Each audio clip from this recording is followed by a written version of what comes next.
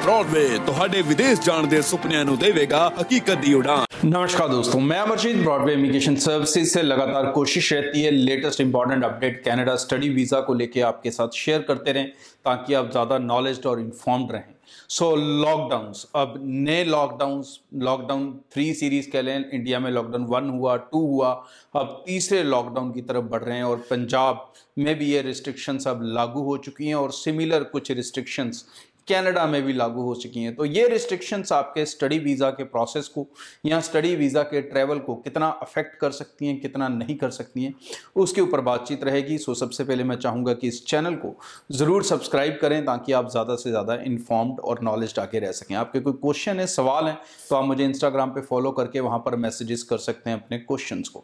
सो so, जो present restrictions हैं पहले हम इंडिया में लगी हुई रिस्ट्रिक्शंस की बात करते हैं जिसमें सबसे इंपॉर्टेंट है कि आयल्स इंस्टीट्यूट्स को बंद कर दिया गया है। जितने भी एजुकेशनल इंस्टीट्यूट्स हैं, स्कूल हैं, कॉलेजेस हैं और आल सेंटर्स हैं, उनको पंजाब गवर्नमेंट ने 15 जनवरी तक बंद कर दिया है और आगे उम्मीद है कि फिफ्टीन ऑफ़ जनवरी के बाद ये एक्सटेंशन और हो सकती है। ऐसी ही रिस्ट्रिक्शन इंडिया के कई और पार्ट्स में की जा रही है। तो सबसे पहले जिन बच्चों, जो बच्चे कनाडा की प्लानिंग कर रहे थे, जो आने वाले दिनों में आल्स क्लियर करने वाले थे, उनको I advise you do not stop your process क्यों? वो भी मैं आगे जाके बताता हूँ बट सबसे पहले मैं ये आपको कहूँगा कि आप अपनी ऑनलाइन आल्स क्लासेस अब स्टार्ट कर लें, क्योंकि फ़िज़िकल क्लासेस के कंपेरेटिवली आल्स क्लासेस की लर्निंग कई बार स्लो होती है तो आपको ज़्यादा टाइम लग सकता है तो जितना जल्दी आप स्टार्ट करेंगे, उतना जल्दी आप अपने अचीवेबल स्कोर पे पहुँच सकेंगे। आज के एग्ज़ाम बंद नहीं किए गए, क्योंकि 100 तक की गैदरिंग अलाउड है होटल्स के अंदर, और आईडीपी अपने जो एग्ज़ाम्स हैं, उनको 100 बिलो की गैदरिंग रख के कंडक्ट कर सकता है। So that is a good part कि आपका आल्स के एग्ज़ाम चलते रहेंगे। कोचिंग्स ज़रूर अफेक्ट होंगी आने वाले दिनों में। उसके अलावा अगर कनाडा के अंदर बात करें तो वहाँ पर भी लोकल जो लॉकडाउन से वो किए गए हैं जिम्स हैं बार्स हैं, ऐसी चीज़ों को बंद किया गया है सेम चीज़ों को इंडिया में भी रिस्ट्रिक्ट किया गया है। बट अब जो इसके बीच में मेन चीज़ होती है स्टूडेंट का वीज़ा और ट्रैवल तो ये मैं आपको बता दूँ कि ये दो चीज़ें लीस्ट अफेक्टेड रहेंगी।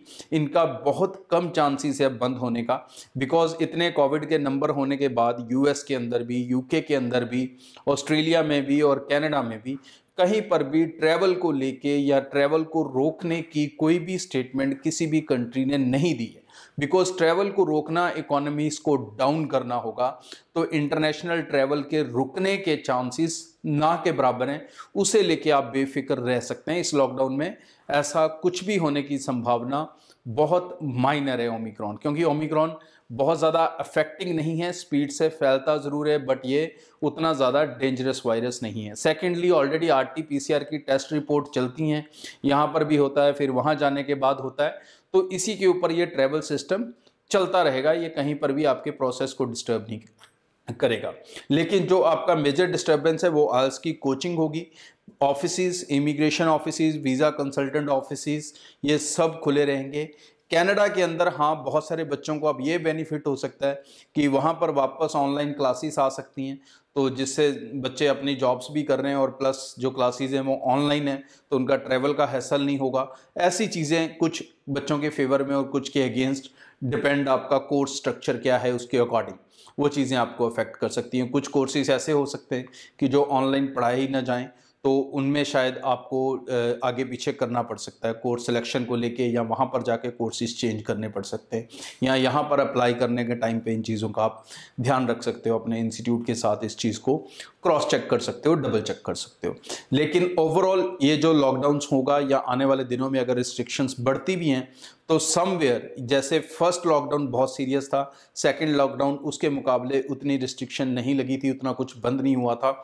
इस लॉकडाउन में एक चीज़ अलग अलग कंट्रीज़ कंफर्म कर चुकी हैं कि इंटरनेशनल ट्रैवल नहीं रोका जाएगा, चाहे वो टूरिस्ट कैटेगरी का हो, चाहे वो वर्किंग कैटेगरी का हो, और चाहे वो स्टडी कैटेगरी का हो। तो स्टडी कैटेगरी तो सबसे प्रायोरिटी में रहती है तो हमेशा चलती रही है और चलती रहेगी आगे भी। सो निश्चिंत होकर अपनी एप्लीकेशंस को लगाएँ, और डेफिनेटली अब थोड़ी दूरी भी मेंटेन करके चले। हम रिस्ट्रिक्शंस को भी फॉलो करें। ताकि अपने आप को सेफ़ भी रखें। और आयल सेंटर्स वाले बच्चे जो हैं, वो डेफिनेटली अपनी क्लासेस को अब और ज़्यादा सीरियसली लें, क्योंकि घर पे बैठ के उनको पढ़ना है रिस्पॉन्सिबिलिटी लेनी है। तो ब्रॉडवे की ऑनलाइन क्लासेस अवेलेबल है। आप ब्रॉडवे की अकेडमी से कॉन्टैक्ट कर सकते हो और ऑनलाइन क्लासेस घर पर स्टार्ट कर सकते हो। लेकिन इमीडिएटली जितनी जल्दी हो सकता है, अपनी आल्स क्लासेस को स्टार्ट करें। क्योंकि फ़िज़िकल के कंपेरेटिवली ऑनलाइन लर्निंग में थोड़ा प्रोसेस स्लो होता है। आपको ग्रुप्स नहीं मिलते, आपको साथ वाले बच्चे नहीं मिलते जहाँ से एक्सचेंज लर्निंग होती है। तो इन चीज़ों को आपको फॉलो करके चलना है बट प्रोसेस को रोकना नहीं है। बिकॉज़ अगर आप जिस चीज़ को मान के चलो कि ना ना करते हुए सितंबर के लिए बहुत ज़्यादा रश है। अगर आप ये इंतज़ार कर रहे हो कि 15 जनवरी तक की रिस्ट्रिक्शन है, उसके बाद खुलने वाली है तो मैं बींग प्रोफेशनल मैं ऐसा नहीं गिनता।